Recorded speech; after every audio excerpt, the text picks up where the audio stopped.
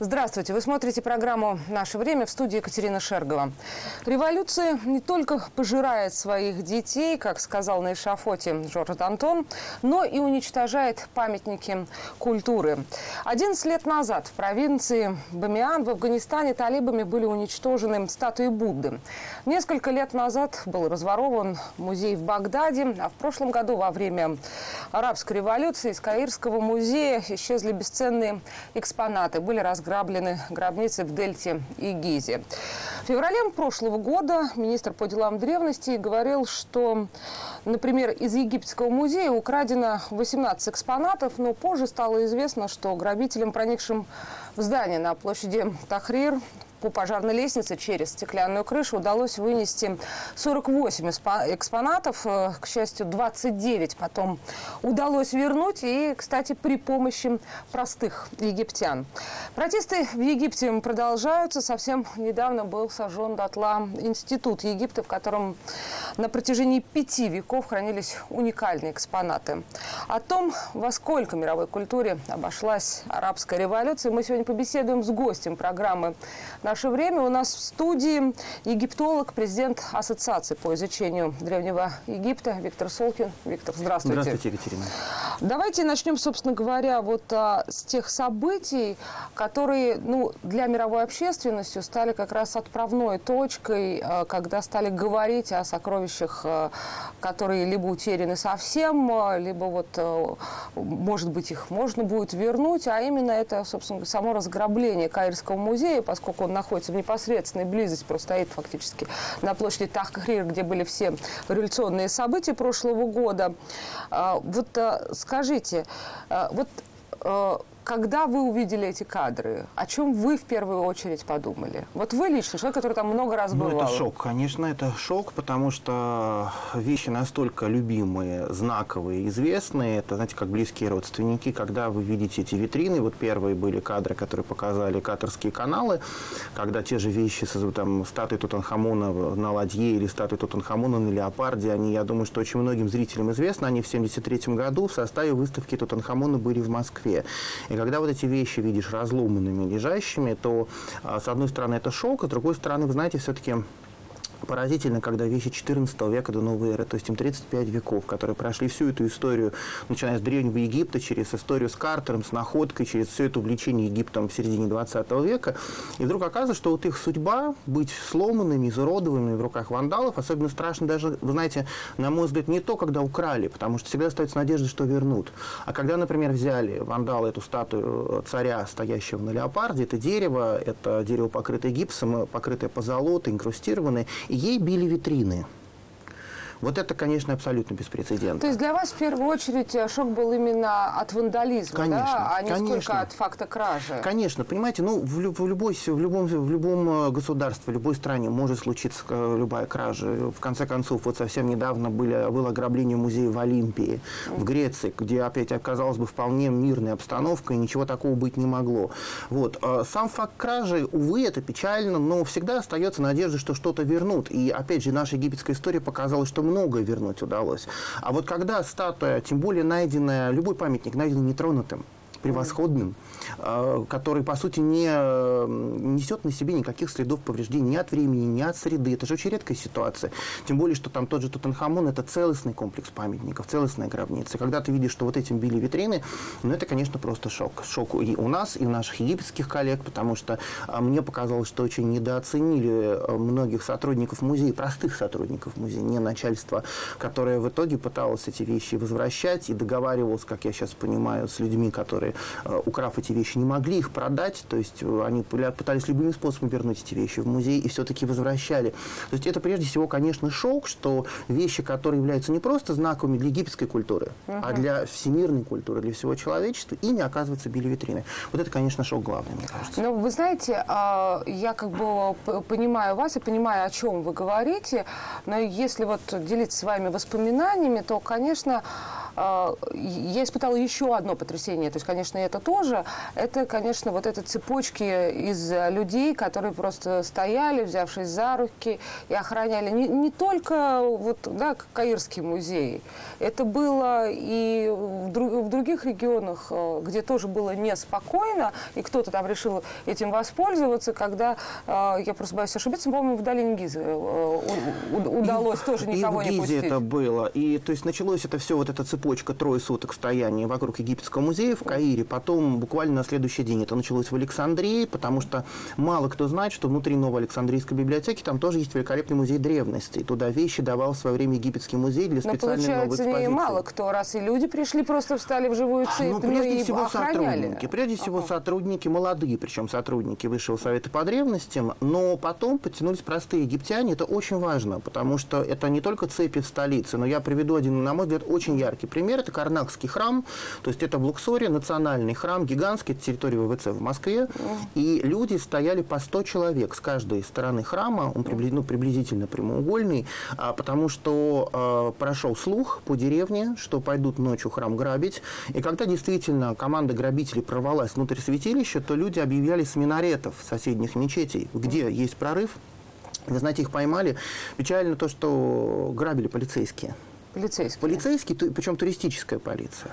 Вот, и они даже пытались отстреливаться. Вот люди Карнак, они защищали свой храм. И для меня это не просто слова, потому что вот там вот в этих цепочках стали мои хорошие друзья. Mm. И я когда в э, апреле приехал в Египет, вот первый раз в этот революционный год, мне люди mm. с горящими глазами рассказывали, почему это нужно. Это были мусульмане, это были христиане, это были иудеи, которые там живут. То есть это вот нечто такое, что абсолютно объединяет, консолидирует общество.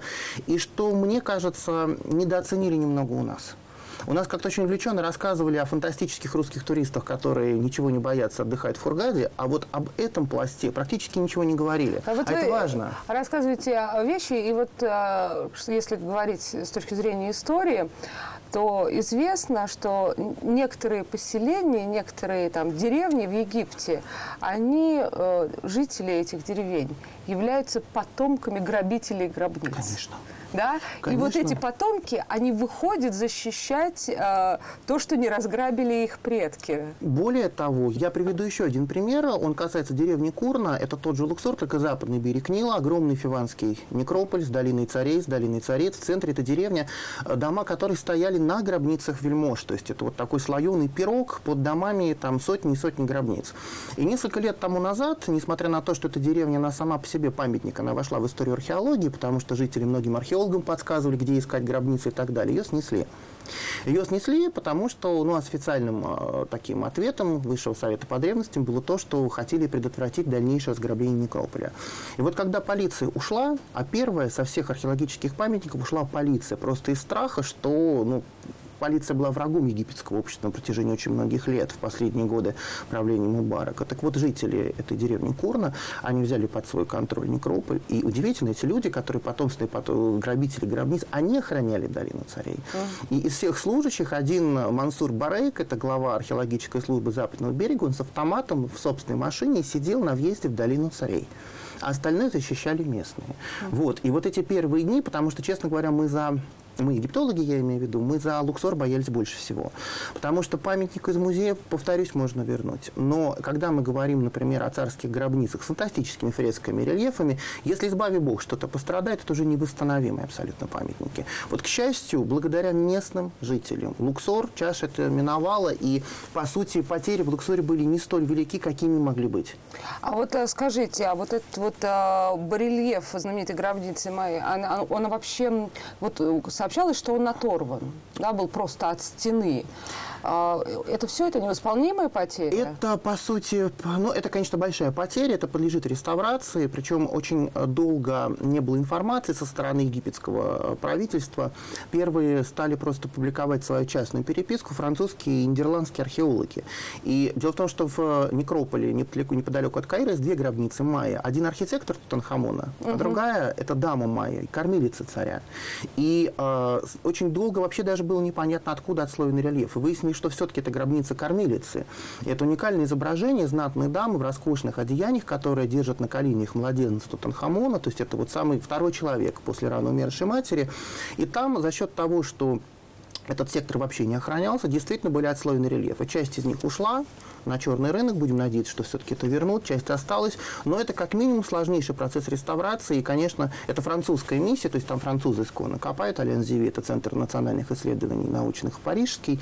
Вот, то там титанические просто реставрационные работы предстоят. И это даже не самый страшный, наверное, случай вандализма. А вот раз вы заговорили о миссиях, была информация, что они уезжали во время всех этих событий, миссии покидали. Вот сейчас они все вернулись или нет? Часть. Ну, во-первых, не все покидали зависело очень много от полевого директора и от стойкости миссии. Потому uh-huh. что, например, очень хорошие мои коллеги, э, совместная миссия европейская из разных стран, которая в Луксоре, все, наверное, туристы знают огромный колосс Мемнона, за ними когда-то стал огромный храм 14 века до новой эры. Так вот, полевой директор просто приняла решение, очень мужественная женщина, армянка, Хурик Сурузян, потрясающий искусствовед, который предложил всем желающим остаться. Помимо того, что была дополнительно оплачена охрана, люди сами ночами сторожили свой собственный раскоп. Так то же самое было в Эбидосе, знаменитый знаменитом древнеегипетском культурном центре, где стояла немецкая миссия.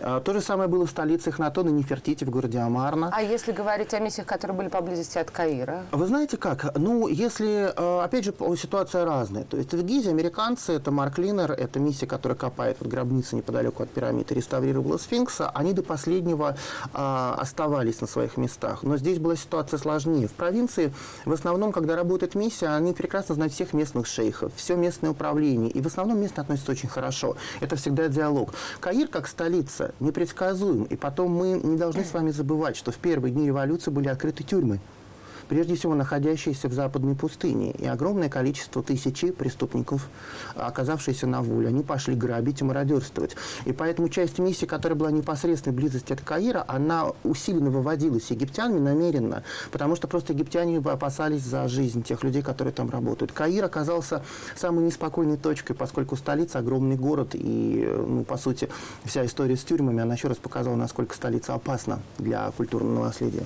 Ну вот э, смотрите, уже э, прошел год вот э, с тех событий. Что можно сказать э, и все-таки неспокойно было весь этот год, да, плюс процесс над Хосни Мубараком.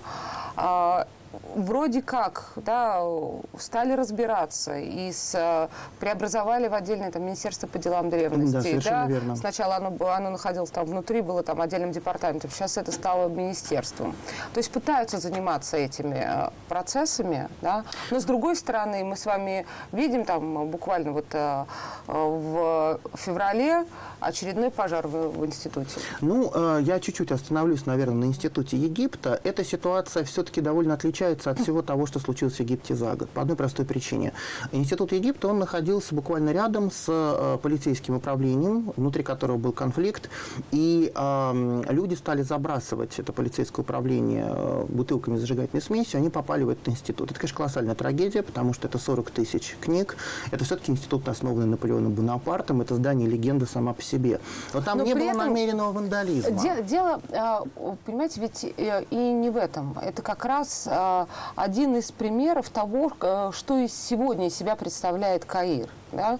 То есть мы не можем говорить о безопасности тех или иных сокровищ в Каире, да, которые находятся в музее, если настроение в обществе на сегодня таковы, что группа недовольных граждан может прийти к полицейскому участку, закидать его бутылками зажигательной смеси, в результате э, случайно сгорит э, институт, который пять веков насчитывает. Вы знаете, ну, я приведу свой личный пример. То есть mm. я вот за революционный год, я был в Египте дважды, в апреле и в октябре. Mm-hmm. А, Египет – это не площадь Тахрир. Это очень важная вещь, потому что через СМИ в основном воспринимают вот все, что охваченное волнениями площадь, это есть весь Египет. Это не так, а, потому что... Но при этом мы с вами понимаем, что институт изучения, он находится вообще не на площади Тахрир. Он рядышком, Но он, он рядом, недалеко, он недалеко, он недалеко, он недалеко.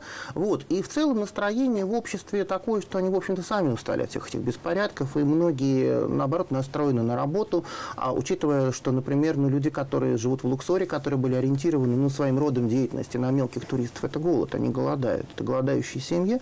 Это достаточно очень тяжелый процесс, потому что вот все мы, у нас уже многолетние друзья в том же Луксоре, мы просто возили туда какие-то суммы денег, просто чтобы помочь друзьям, потому что ну просто вообще негде заработать на хлеб.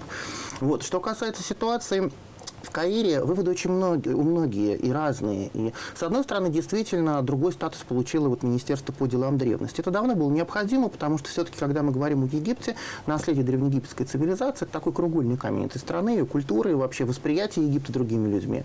А, очень сложные а, процессы были в том, что а, было очень трудно выбрать фигуру на пост министра, который устроил бы всех. За год сменилось четыре человека, после э, доктора Заихаваса, который всем, я думаю, был прекрасно известен, четыре человека, прежде чем была выбрана более-менее нейтральная фигура, которая всех устроила. Он, э, доктор Мухаммед Ибрагим Али, он известный египетский археолог, он очень достойный человек, и сейчас вот первые уже шаги, он очень активный. Новые музеи открываются, и все-таки была сделана единая база большинства потерянных памятников, то есть много конкретных шагов. Но есть еще и а, другая тема, которая была очень болезненной для этой сферы, потому что ведь а, тот же там Каирский университет и другие университеты Египта Египта, они выпускают достаточно большое количество молодежи. То есть эм, египтология как специальность внутри егип египетского общества, она популярна. И а, был огромный разрыв в былые годы между, например, зарплатой управляющего состава министерства или тогда еще Высшего совета по древностям молодого инспектора. Ну, вот представьте себе, что э, в э, первом своем интервью директор Египетского музея в Каире, доктор Вафа Садик, вот после ограбления, она объявила зарплаты, которые назначает не она, а министерство. Охранник музея получал приблизительно 35 евро в месяц. Угу. Вот, и вот дальше задаем мы себе вопрос, насколько легко этого человека можно уговорить э, совершить какую-то кражу в музее. Легко. И те 9 человек, которые громили памятники Тутанхамона, из них 6 человек это были охранники музея, остальные высокопоставленные полицейские опять. И во главе этого всего стоял очень крупный чин тогда еще правящей национально-демократической партии. Вот. И э, сейчас очень большой вопрос э, связан с тем, что Египет основ... ну, открываются новые музеи, открываются новые какие-то места дотаций для трудоустройства молодежи. Вот, поскольку э, талантливых людей много, реализоваться они тоже как-то должны. И, по сути, ну, это и новая ротация, и новые рабочие места, и возможность молодым египтологам египетским найти свое место в этой жизни. Потому что, конечно, то, что было до этого, это было весьма печально. Ну вот а скажите, а, вот вы, вы сказали, что первое, что сделал э, вот нынешний, который стал фактически четвертым министром да. за этот э, год, а, это все-таки был составлен вот этот вот список, э, наконец, да. полностью. Можно сказать, что на сегодняшний день известно все потери, которые были в Египте в прошлом году? Нет, конечно. Конечно, конечно нет. нет, потому что у нас как-то э, по естественным причинам у нас перед глазами стоит Каирский музей, вся эта история с ограблением, с тем, как возвращали отдельные предметы, тоже, мне кажется, очень интересно. Но ведь главная беда была не в Египетском музее в Каире. Вокруг Каира определенное количество национальных археологических хранений. Например, 24 километра к югу от Каира, это древний Мемфис, это национальное археологическое хранение Митрахина, это тысячи экспонатов, которые ну, по-моему, оно стало вот как раз э, лидером этого Его разграбили полностью. Рейтинга, да, да, его разграбили полностью, потому что туда, что такое археологическое хранение? Туда все э, миссии европейские, египетские, которые работают вокруг, они сдают найденный материал. И среди местного населения, особенно среди подростков, почему-то было такое впечатление, что там наверняка золото, какие-то сокровища, хотя на самом деле есть правило, найденное золото, оно в течение 12 часов после находки, оно уходит в подвал Египетского музея в Каире как угу. раз. И люди врывались э, в эти хранения, выбирали какие-то предметы, но самое страшное, что в ярости, не находя тех самых долгожданных сокровищ, они громили вещи. И вот, например, мои чешские коллеги, которые копают одну из полей пирамид недалеко от Каира, это поле Абусир, они рассказывали, что у них в хранении слоями разбитые рельефы, растерзанные мумии и разбитые саркофаги. То есть они не представляли интереса для местных э, грабителей, подростков, но мы можем себе только представить, условно представить, какой культурный пласт, по сути, уничтожен. И э, да, есть база данных по нескольким археологическим хранениям. Понятно, что с Каирским музеем, вот последний памятник был найден из украденных 9 января 2012 года, то есть совсем недавно. Великолепная бронзовая статуя богини кошки Бастет. Но о том, чтобы составить базу вот этих всех хранений, пока речи еще нет. А есть очень хорошая инициатива высказал ее доктор Салима Икрам, это ведущий египтолог Американского университета в Каире. Дело в том, что, а, безусловно, каждый полевой директор ведет базу данных своих собственных находок. Вот речь идет о том, чтобы полевые директоры сами сделали эту базу, а, отдав в нее то, что есть у них в собственных архивах. И это как-то позволит отследить памятники. Но, с другой стороны, мы с вами прекрасно понимаем, что если там какой-то бесценный рельеф появляется на черном рынке, он просто может быть продан нелегально. И есть же случаи, когда уже на египетской таможне ловили подлинные ценные вещи. Вот. И насколько здесь удастся этот памятник поймать, это, наверное, вопрос совести таможенника и вопрос совести того, кто откажется покупать прежде всего в Европе а такую вот, вещь. Э, смотрите, а, если мы говорим об экспонатах, которые, ну, понятно, то, что находится в Карском музее, оно оказалось как раз и в центре внимания. Там были истории, когда а, люди сами возвращали, да, что-то, по-моему, случайно просто нашли на улице, то, что выносили, и что-то вы там бросили Там парадоксальные, там парадоксальные да. истории, и на самом деле эти истории, они внушают некую надежду. А, потому что среди украденных вещей было много вещей знаковых, которые входят во все там, генеральные каталоги Каирского музея. Например, знаменитая статуя царя Эхнатона, который держит жертвенник в руках, это очень известный памятник. А, их невозможно оказалось, к счастью, продать. То есть и вывести было невозможно, и никто из, наверное, черных дилеров, к счастью, не стал покупать памятник, который известен по всем книгам. Его подбросили к урне Каирского музея. Mm. Его нашел мальчик, который, э, ну, по официальной информации, mm. его нашел ребенок, который принес его домой. А, случайно совершенно его двоюродный там, дядя работал в службе древности, он увидел с квадратными глазами, что принесено в дом, вернул этот памятник. А, например, вещи, растерзанные вещи Тутанхамон, то есть фрагменты его деревянных позолоченных статуй, раздался звонок, действительно так, раздался звонок в Высший совет по древностям. Была информация, что вы должны приехать на станцию метро Шубрельхейма, это такая Алтуфьева, Каирская. Вот, и там вот черный мешок в углу. Значит, там были деревянные позолоченные фрагменты статуи Тутанхамона на ладье, бронзовые царские военные трубы, а, фрагменты э, апахал царских. То есть там были потрясающие вещи, которые на самом деле даже обыватель прекрасно знает, они всех на слуху. Их очень тяжело и очень непросто реставрировали, и результаты реставрации были предъявлены в октябре. Угу. Они достойные. Это очень важно, недостойные. Есть потрясающий египетский реставратор дама Надя Локма, которая училась в Италии, в Америке, который крупнейший реставратор по дереву. И вот то, что она сделала, это подвиг. Потому что она буквально по золотиночке собирала то, что можно собрать. Повреждения видны, они значительные, но, э, тем не менее, это уже тоже результат, результат очень достойный. А как-то пытались разобраться? Вот а вы а, называли это известный факт, а, кто входил в эту банду грабителей что там были охранники, там были чины полицейские, а заказчиком или главным там идейным вдохновителем был один из э, руководителей... На, боссов, да, да, да, да, на тот момент правящей партии. Ну, к охранникам у меня, скажем, нет, скорее, в данном случае вопросов. К полицейским тоже, конечно, в меньшей степени. Ну, потому что я не уверена, что уровень их образования, в общем, позволяет бы сделать вывод, что все, что они выносили в тот момент, а, невозможно продать практически. Но вот тот, кто это придумал, неужели он настолько был глуп? К счастью, да.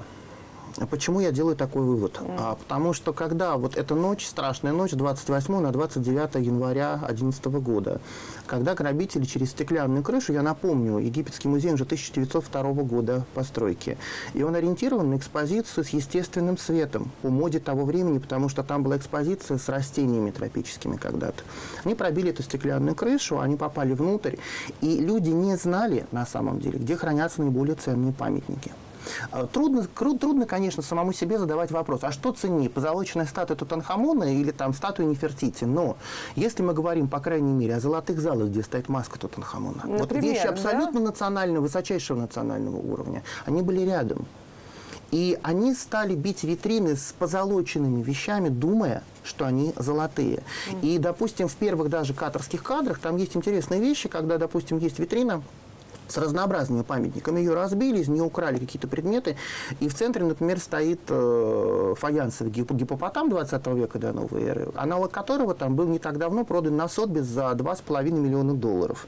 То есть они взяли меньшие предметы. А кому нужен вот этот синий гипопотам? Да никому. То есть вот отсутствие образования, то, что они не были подготовлены, не знали, к счастью, да. это во многом спасло музей, потому что иначе ограбление было бы более точечным и более плачевным. Ну, то есть тогда получается, что это была скорее спонтанная история. Спонтанная история. Да? Рядом горело здание как раз Национально-демократической партии, оно буквально примыкает к зданию угу. Египетского музея. Когда стали тушить это здание, грабители воспользовались одной из пожарных лестниц, одной из пожарных машин, и с помощью этой лестницы перебрались на крышу музея. То есть это была спонтанная акция. Они знали, что вот тут на втором этаже тут Анхамон, вот надо идти туда. Что конкретно они не знали. И на первом этаже там есть зал с Амар ваймаровским искусством, это эпоха Эхнатона Нефертити, это известные памятники. И вот там тоже достаточно сильно погромили витрины и вытащили отдельные скульптурные портреты, часть из которых до сих пор не вернулась. Ну вот ограбление Каирского музея, это, скажем, типичное ограбление, которое вот в эти дни потом а, было по всему Египту. Или где-то было серьезное такое ограбление, подготовленное, причем людьми образованными, где ущерб гигантский. Да? Гигантский я имею в виду с точки зрения того, что эти люди были готовы, а не в том, что вот как подростки, да, которые пришли просто от злости разгромили все. К счастью, нет. К счастью, нет. Ну, а, опять же, я здесь, наверное, приведу еще один пример. А, когда, допустим, есть памятник, может быть, он не столь ценен с художественной точки зрения, но он уникален. В Дельте а, на севере Египта, в одной из провинций, была уникальная гробница 13 века до новой эры. Она, может быть, не самая совершенная по там, степени декорировки или отделки, но она единственная. Ввиду того, что вот в тот момент она была единственная найденная в этом районе, просто разобрали на куски. Это гробница Кинамона. Вот. И э, вот это абсолютно уникальный исторический памятник, которого просто, к сожалению, больше нет. А все остальные случаи, вы знаете, они достаточно страшные. То есть вот я перескажу буквально вот маленький фрагмент из э, переписки с своими французскими коллегами, которые работают на полях пирамид недалеко от Каира. А толпа, например, 200 человек, подростков, 15-18 лет которая двигается, которая вскрывает, естественно, то есть там даже какие-то были, э, там пара отрядов полиции, но просто полиция сбежала от них. А, которые просто вскрывали это хранение, которые топтали вещи, которые думали, что вот, например, стоит рельеф в гробнице, наверное, под ним что-то есть, под ним подкапывали грунт, просто этот рельеф обрушался. И потом, естественно, французские коллеги, которые были в этот момент на месте, ничего не могли предпринять, и в них еще кидали камнями. И здесь очень хорошо сказали чехи, что, по сути, например, теперь, после всего этого, сделав выводы, очень многие миссии открывают э, небольшие образовательные курсы для желающих, для тех деревень, для школ тех деревень, которые рядом. Для того, чтобы показать, а что это за памятник, а что здесь вообще находят, почему здесь нет золота, или почему золото ушло, например, в тот же египетский музей. Потому что на самом деле даже среди той же молодежи, которая очень бедна, и которая очень необразована во многих отдаленных районах Египта, интерес к тому, что было построено там предками, он велик. И, знаете, довольно забавно, когда в древнем Мемфисе там руины огромного храма Птаха эпохи Рамсеса II, и там местный житель сокрушался, что, надо же, как обидно, за эпоху революции непорядочные его соседи построили новые свои дома на территории дворца некой Зулейки, которая была женой правителя Египта времен Иосифа. То есть это такое предание сказочное, но тем не менее есть четкое ощущение любви к своему прошлому. И все-таки я должен обязательно это сказать вслух. То есть вот вандализм и факты этих краж – это скорее исключение для египетского народа. И на фоне того, как египтяне защищали свои памятники, это то, что, к сожалению, может случиться в любой стране. Знаете, когда мне приводили вот эти кадры в э, разграбление Каирского музея, говорили, что вот, а вот в Европе это было бы цен, э, все целым, я приводил кадры времен это Второй мировой войны. К старому спору о том, э, где что Никто не застрахован, к сожалению сожалению, потому что, ну, вот, например, огромное собрание древности Ливерпульского музея, оно было фашистскими войсками разгромлено во время бомбардировки полностью. И те памятники, которые даже каменные остались целыми, не трескались во время пожара. А колоссальные потери были в музее Брюсселя, а в Берлинский музей. Что-то успели спасти вошедшие советские войска, что-то американцы успели спасти, а сколько, опять же, горело. И ведь страшная цифра. Но подождите, да. вот смотрите, вы сейчас, э, э, я вот соглашусь, э, с вами не готова согласиться, потому потому что вы сейчас приводите примеры, а, когда речь идет о войне. Война и революция – это все-таки немножко разные вещи. Особенно если мы говорим о войнах, а, да, о войне в 20 веке. Я имею в виду там с точки зрения вооружения, какие уже тогда были. А, потому что мы с вами можем таким также вспомнить и Дрезден. Да? Э, если не говорить о древностях, а да, говорить о, о более поздних более предметах искусства. Но смотрите, дело в том, что э, если посмотреть просто на историю человечества, то мы, э, я вот просто не зря вспоминала Д'Антона, да, и революцию, которая пожирает своих детей, и она действительно пожирает в определенном смысле историческое культурное наследие, потому что то, что ценилось да, предыдущей властью, предыдущими поколениями, нынешней, особенно в революционной ситуации, э, может быть просто полностью обесценена. Э, в 21 веке мы с вами знаем только один пример. Э, это пример то, что было со статуями Будды в Афганистане, когда пришли талибы, которые сказали, нет, эти статуи, они оскверняют, да, в 20 веке ни, там, ни одна революция, по-моему, которая произошла на э, нашей планете, не уничтожала то, что э, считалось сокровищем, э, то, что охранялось, то, что ценилось на протяжении долгого времени. И то, что произошло в Египте, в 2011 году, оно как раз и пугает.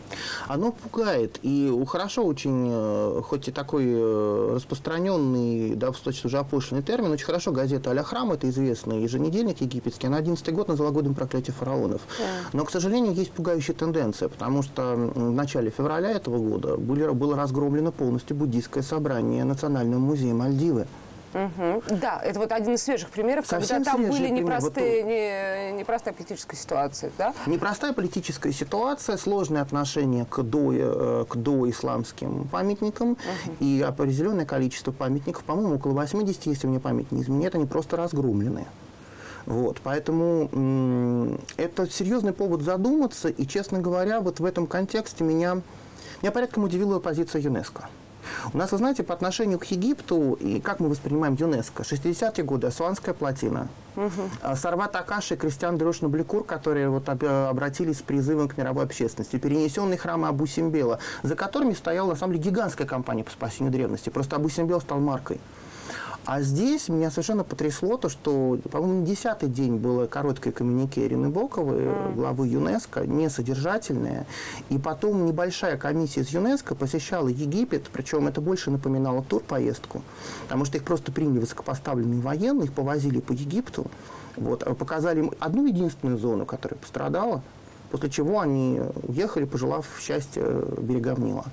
Вот мы были очень все удивлены с коллегами, потому что все-таки в нашем представлении ЮНЕСКО это очень активная, деловая и конкретная организация. Может быть, вот на, на этой ошибке стоит научиться, и ввиду того, что, к сожалению, печальная тенденция есть более активно действовать, как-то предотвращать это, э, курировать, может быть, неспокойные регионы, и обеспечивать там охрану культурных ценностей. Ну вот смотрите, история с Афганистаном, да, а, по большому счету тогда реакция мирового сообщества была мгновенной. Все находились в состоянии просто шока, причем ведь есть даже, да, сразу кадры были получены, как это были ликвидированы эти ситуации.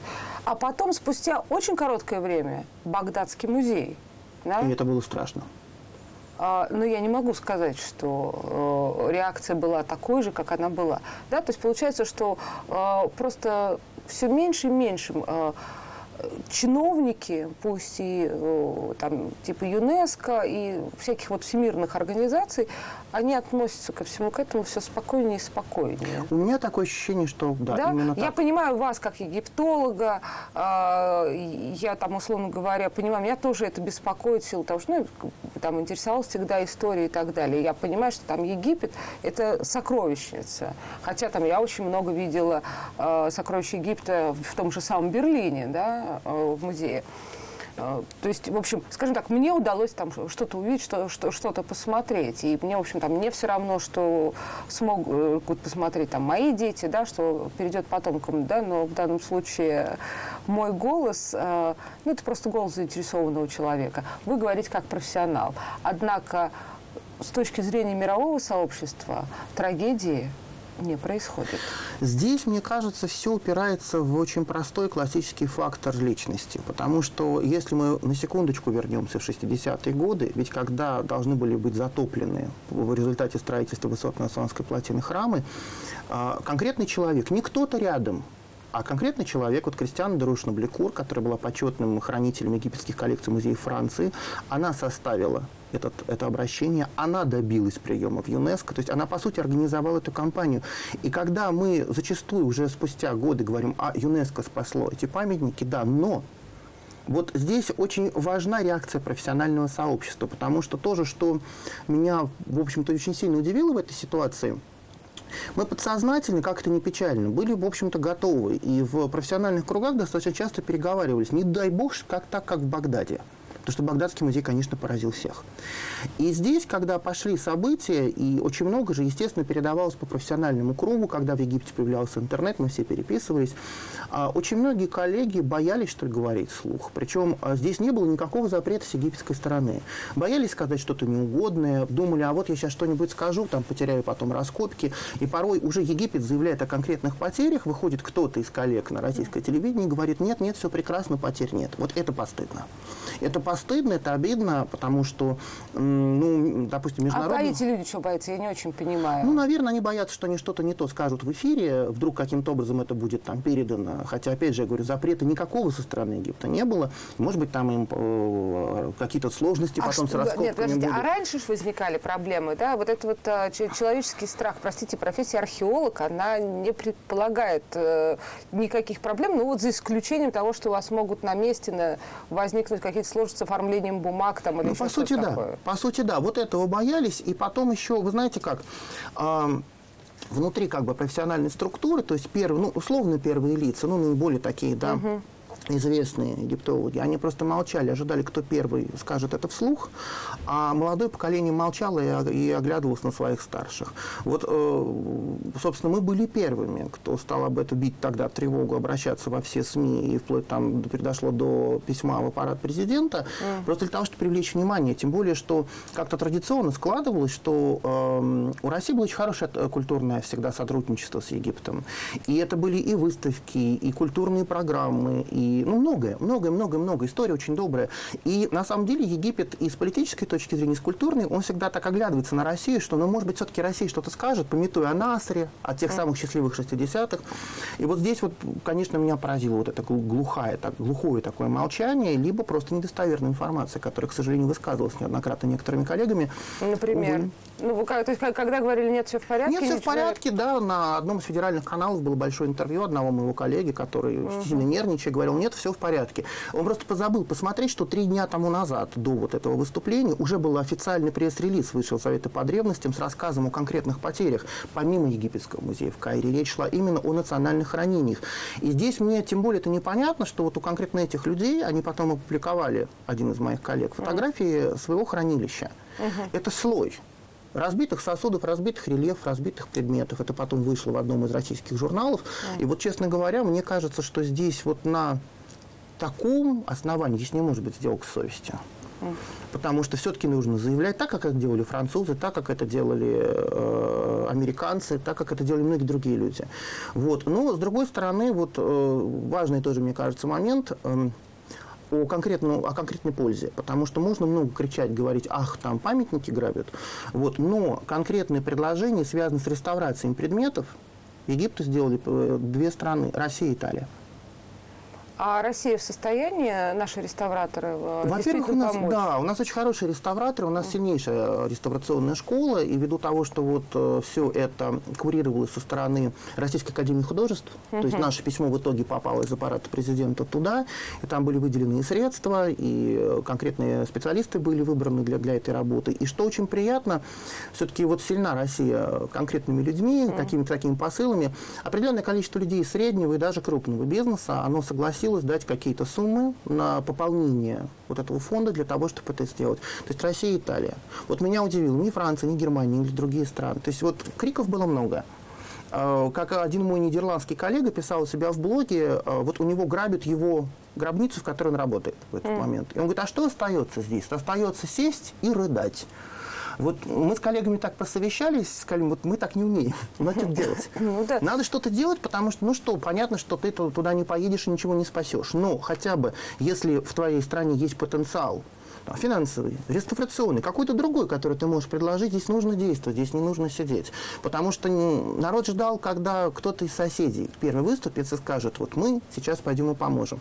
А здесь не надо ждать соседей, надо действовать самому. Ну вот мы с вами начали говорить о реакции мирового сообщества, да, о том, что вот кажется, что как-то неэмоционально оно отреагировало.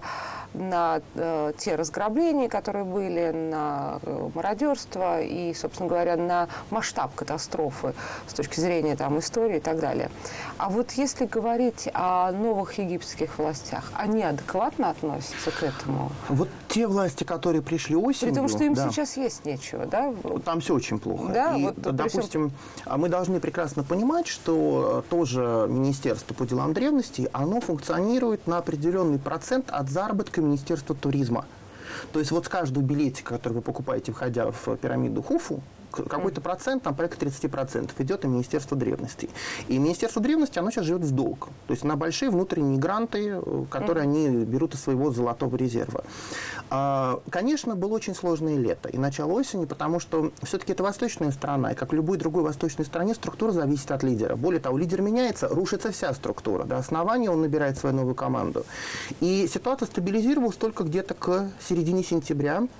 И когда в итоге пришел вот нынешний министр, э, то шаги есть. Шаги на самом деле очень хорошие и радостные. Ну, во-первых, был составлен очень важный список тех э, памятников, на которых нельзя приостанавливать проекты. О чем я говорю? Например, есть древнейшая египетская пирамида царя Черехета Джосера, 27 век до новой эры. Она в плохом состоянии.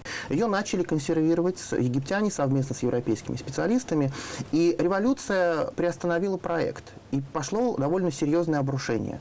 Вот даже в ситуации, когда не было денег, деньги были найдены, и буквально через месяц проект был продолжен, в Луксоре проект по э, поднятию э, колоссальной аллеи сфинксов, который стоит Карнахский Луксорский храм, практически 3 километра этот проект. Несколько крупных проектов реставрационных, связанных с гробницами, они не были приостановлены, очень важно. И это были именно деньги египетского правительства, а не деньги внешних спонсоров. Второй момент. А, Египет а, очень активно сейчас вложился в создание новых музеев. И эти проекты, не, конечно, не этого года, они строились по 5-6 по лет, но был сделан такой рывок. Например, потрясающий европейского абсолютно уровня музей открыли в городе Суэце. Это история Суэцкого канала с глубокой древности, история этого региона. Это памятники, начиная со времен фараонов, через христианский период, в исламский период.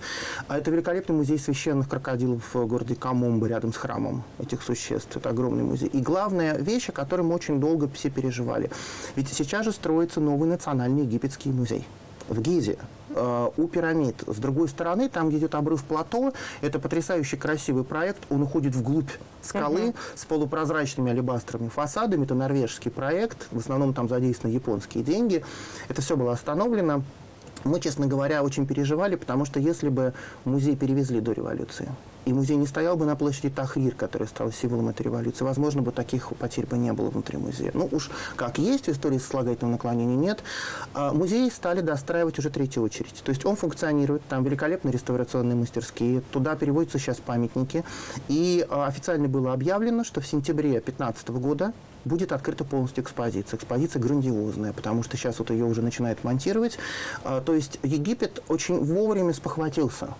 И потом, вы знаете, опять же, вот мой взгляд человека, который очень много лет работает с египтянами. Во-первых, они люди не агрессивные, очень доброжелательные, и они а, действительно с уважением относятся к своему культурному наследию. То есть все-таки вот э, редко, когда в стране, которая еще по сути переживает последствия революции, вот такое количество культурных проектов возобновлено, причем крупномасштабных, открыто.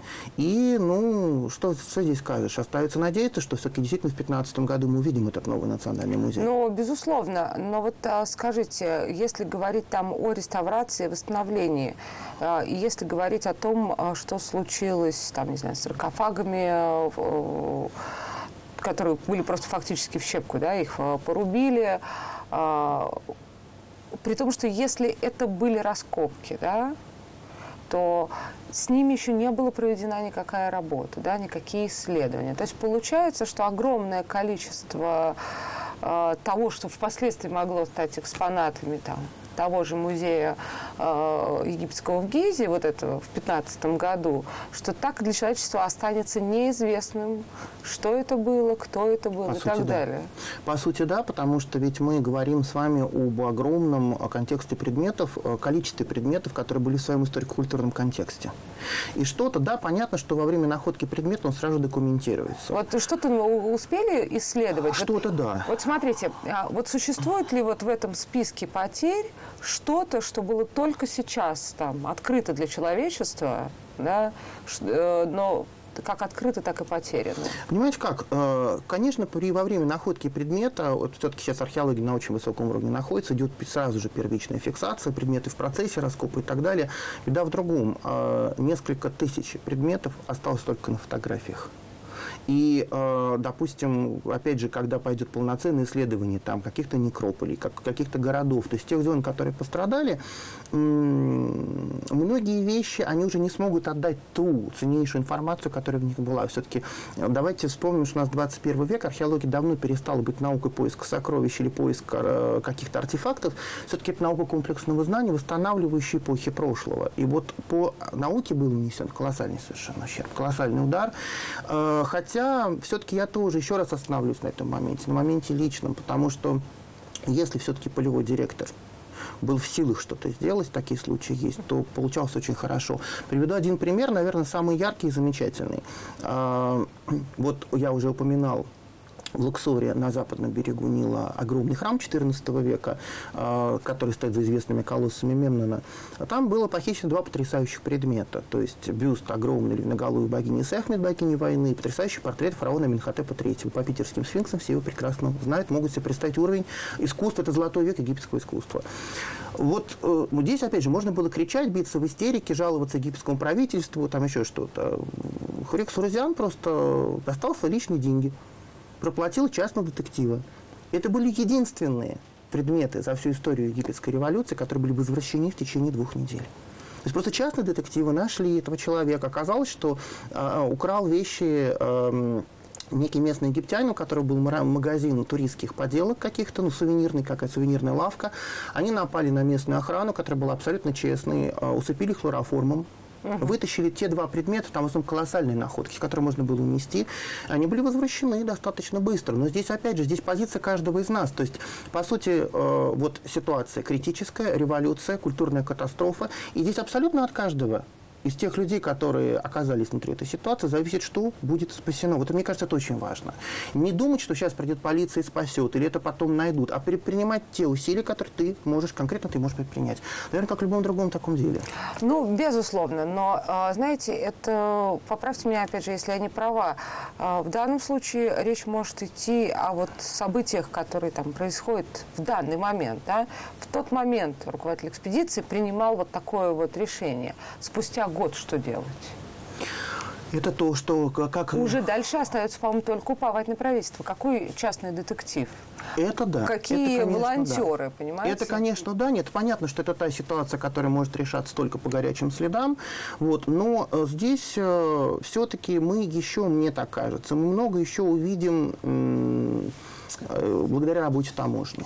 Угу. Ведь это совершенно поразительный был случай, когда э, дипломат, э, это был, по-моему, рубеж марта и апреля, когда дипломат одной крупной державы угу. был пойман на таможне в Каирском аэропорту. Он отказывался, пользуясь дип-статусом, просвечивать свой багаж.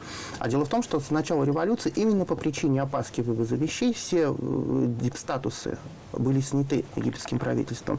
Его заставили просветить багаж. Там находился некий памятник древнеегипетский с виду. У дипломата была истерика, вызвали экспертов из Высшего совета по древностям. Памятник казался достаточно хорошей подделкой. Вот, и человеку, человеком извинились, предложили ему забрать вещь э, и улететь в свою страну. У человека случился обморок. Угу. То есть вы можете представить, сколько он заплатил за этот предмет, он думал, что он подлинный. И после этого он некрасиво подарил таможне этот памятник, благодарный за египетскую революцию, улетел в свою страну. А, подлинные египетские памятники ловились на подъездах к Хургаде, то есть местные жители просто везли э, Туристам туристам и угу. явно на заказ, потому что Хургада это то место, где ну, все-таки люди едут туда отдыхать, нежели там какие-то древности искать. Либо э, здесь еще тоже такая вещь, которая раньше была очень сильно, очень развита, такое называемое арабское единство. А, потому что сейчас этого нету. И, а, например, иорданский водитель с, огромным, а, с огромной фурой, которая везла молочные продукты, он пересекал границу в районе Синайского полуострова. И ну, вот египетские таможенники по его внешнему виду поняли, что он нервничает. Стали обыскивать. У него там было в машине спрятано 29 бронзовых статуэток египетских богов, золото древнеегипетское. Совершенно потрясающие памятники. Причем поразительно, что, видимо, это какой это ну, достаточно старый воровской раскоп, потому что до сих пор никто не может понять, откуда, откуда эти вещи. А, вот так вот То даже. есть это явно совершенно не одно из археологических хранений. Mm. Вот. И в целом, благодаря вот таким людям и таким поступкам, Результаты неплохие. Например, в хранении Алькантара Шарк, это э, северо-восток Египта, там было очень много ценных вещей в этом здании, потому что готовится новый музей египетских древностей в Шарм-эль-Шейхе для тех туристов, которые приезжают туда отдохнуть.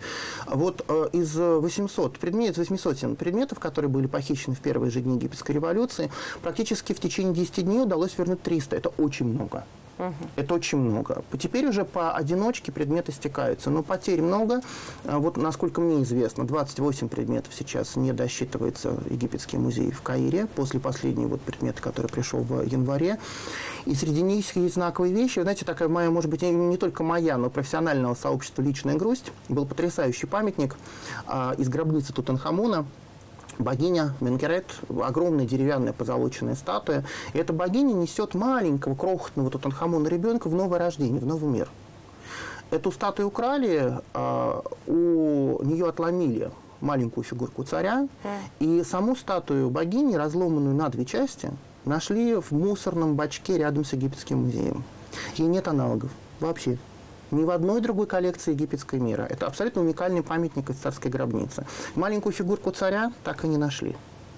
И подобных вещей достаточно много. Просто сейчас они уже через год начинают забываться, а мне все-таки кажется, есть, естественно, выпущен этот список потерь египетского музея в Каире. Более того, через, э, это немножко смешно, через год Международный совет музеев, через год выпустил так называемый красный лист египетских древностей. То есть это такая большая ориентировка для работников таможни разных стран, какого плана памятники нелегально могут быть выведены с территории Египта через год. Это тоже вот об общественных всяких таких вещах. Это поразительно. Вы знаете, поскольку есть у меня такая слабость а, искать а, теорию заговора и так далее, а, вот в эту теорию заговора, может быть, и укладывается реакция, которая была только через год вот с этим красным листом. Ну, вы же знаете, да, о том, что появились слухи, что практически сразу же после того, как был именно разграблен, речь в первую очередь шла о музее в Каире, что это были не только и не столько кражи, да, учитывая их неподготовленность и так далее, что на самом деле все это было внешней ширмой, что это все а, определенные попытки замести следы со стороны фальсификаторов в истории что определенное количество там каких-то э, экспонатов, а именно какие-то папирусы, что всю подлинность вызывало сомнения. Вы знаете, я не соглашусь в том, что касается египетского музея в Каире. Ну, просто потому что я работаю с этим музеем очень много лет. Я знаю, как идет комплектование, как идет работа. Там другой вопрос, там переполненные подвалы, в которых можно произвести археологические раскопки. Там есть масса предметов, которые до сих пор не внесены в инвентарь. Это только сейчас работа ведется. Но а, нет, то есть, э, допустим, никаких так, ярких памятников, которые вызывали бы сомнения. На мой взгляд, там сомнительных не было. Нет, я как раз э, говорю mm-hmm. о том, что э, как раз э, используя вот это ограбление, что ограбление было операцией прикрытия для попытки, вот, э, чтобы замести следы. Скорее, скорее, вы знаете, скорее это... Нет, то, что сейчас на рынке много появится фальшивок, э, что вот это вот было там украдено, там вам ну, будут это подмигивать. Это логичная логично. история с дипломатом как раз... Да, как э, раз хорошо это иллюстрирует. Да, но вот а, то, что некоторые артефакты, которые были предъявлены мировому сообществу как настоящие и вызывали у мирового сообщества сомнения, сейчас признаны украденными, потому что ну, не получилось предъявить Наверное, нет. Наверное, я не соглашусь с этой теорией, потому что вещи о, пострадали. Понимаете как? А Каирский музей – это гигантское хранение. И несмотря на то, что, к сожалению, с годами он все больше и больше напоминает сарай, поскольку он не выдерживает просто объема памятников, которые в него uh-huh. поступают, как в хранилище, все равно на двух этажах, которые вы видите, на самом деле огромный подвал, еще есть третий этаж у музея флигелей, где не бывают туристы никогда. Там все равно стоят вещи наиболее ценные, наиболее яркие. И за большинством, ну, за 90%, за 90 этих вещей очень серьезные исследования, они происходят с конкретных раскопов, то есть за этим стоит очень большая большая наука. И э, если вот предмет вызывает какое-то сомнение, он просто не появится никогда в экспозиции, потому что подлинникам-то места не очень хватает внутри египетского музея. Поэтому здесь... Если говорить не о египетском музее, а говорить о других э, хранилищах, тем более э, э, о провинции. А провинции здесь, э, здесь тем более проще, потому что э, это вещи, которые непосредственно найдены в раскопе. Угу. Вот. У них у всех есть конкретное происхождение, где они найдены, в каком историческом пласте и так далее. Здесь вопрос в другом, что э, из-за того, что Каирский музей переполнен, он, э, по сути, уже не принимал даже самые ценные памятники. И если обычно в предыдущие годы э, в национальных хранениях оставались вещи, ну, скажем так, безусловно, исторически очень важны, важны но там не было шедевров первой величины, которые сразу же уходили в Каир, то сейчас вот какое-то количество таких шедевров первой величины, оно пострадало. Просто потому, что египетский музей никого уже просто не, не принимал, принимал, да? Не принимал. И в итоге э, титанический был труд. Есть потрясающая доктор Ясмин Аль-Шазли, это директор Центра документации Каирского музея. Они ночами с молодыми сотрудниками и сотрудницами перетаскивали под египетским музеем экспонаты, сдвигая их э, к стенам для того, чтобы быстро перевести внутрь в подвал музея хранение дельты. Потому что дельта Египта, она, с одной стороны, э, она немножко оторвана как бы от всей страны. Это крупный такой агрикультурный район, в основном сельскохозяйственный. И э, там было очень неспокойно. То есть вот я привел пример, когда одну гробницу просто разобрали на части. Угу. И э, когда стало понятно, что хранилища дельты, они подвергаются очень серьезной опасности, то египетский музей любой ценой стал принимать памятники. Вот. И здесь, конечно, вот осталось огромное количество неупомянутых людей, которые просто совершили подвиг. Вот свой конкретный маленький подвиг, ночами двигая вещи в подвале Египетского музея, чтобы принять новый шедевр, который мог бы быть украден. Не могу не спросить, э, несмотря на некую наивность этого вопроса в конце, э, о мумиях ибисов. Почему в таких количествах их выносили? А не только ибисов, на самом деле огромное количество священных животных. Смысл был следующим, что... Египтяне просто до сих пор в это верят, я как-то пытаюсь понять. Ну, во-первых, огромное количество мифов и легенд существует, что якобы при, для изготовления мумии использовалась некая мистическая красная ртуть, с помощью которой можно вызывать духов. В это верят до сих пор в египетской деревне. Выносили а человек... ибисы и прочие животные, это просто потому, что они маленькие, а взять мумию, которую там только что из саркофага выковырили, а из... Э, бессмысленно, а тяжело, из, А из Каирского музея с лаборатории реставрационной пытались украсть две головы мумии, они безымянные, их просто исследовали на предмет консервации, uh-huh. и потом, когда грабители поймали, спросили, зачем. Uh-huh. Оказывается, вот есть такие вот мистические поверья вокруг всего этого в египетских деревнях, это тоже пытались, это тоже пытались сделать. Вот, то есть здесь еще и не то чтобы необразованность, а Необразованность, которая сыграла и в плюс в египетской истории, потому что не пострадали самые, ну, самые ценные вещи, признаемся в этом, да. А с другой стороны, поразительно, да, на то, что одна миссия, например, тратит свое время и делает образовательные курсы для тех ребят, молодых, которые живут рядом. И угу. эти миссии не пострадали, потому что там все друг друга знают, там все друзья. А те люди, которые чуть больше со спесью относились угу. к местным, они в итоге пострадали больше так всех. Вы, а, приведите со мной сейчас образовательную программу. Объясните мне все-таки про Ибиса. Почему именно вот а, они оказались? Не только Ибиса, вообще священная мумия. Мумия, мумия, вот потому... Именно ради красной ртути, да? Да, да, да. Нет да, ничего такого? Нет, ничего такого, ничего такого, потому что э, ведь, допустим, археологических хранениях там количество ибисов измеряется миллионами, потому что их миллион по 4, по 5 миллионов, это действительно прямая цифра. Потому что это был как бы объект молитвы. Древний египтянин приходил в храм, у него была какая-то просьба, он покупал мумию священной птицы, эта просьба начитывалась и передавалась в некрополь. И как бы забальзамированная птица должна была передать молитву тому божеству. Одна птица, одна просьба. Да. Поэтому мы... Две просьбы, да, две, две птицы. птицы. Поэтому вот по 4, по 5 миллионов. Угу. Вот, то есть это гигантские хранилища, и здесь ничего исключительного в них нету. Есть вообще вот отношение к бальзамированию, потому что э, на самом деле в свое время очень хорошо сказала леди Люси Дав Гордон. Это была такая потрясающая британка в 19 веке, которая бросила Лондон и на крыше занесенного песком Луксорского храма основала клинику для больных детишек. Она написала, что когда вы приезжаете в Египет, то сверху вы увидите Коран, под Кораном вы увидите следы написанной Библии, под Библией вы найдете слова Геродота, но сквозь все это видны древнеегипетские тексты. И сознание египтянина таково, что фараоны живут внутри него куда сильнее, чем он сам об этом думает. Вот я предлагаю на цитате этой прекрасной женщины сегодня и закончить. Спасибо большое, что Спасибо. пришли. Я напомню, что сегодня героем нашего времени был Виктор Солкин, э, президент Ассоциации по изучению Древнего Египта. Программу провела Екатерина Шергова. Я на этом с вами прощаюсь. Желаю вам всего доброго и до встречи.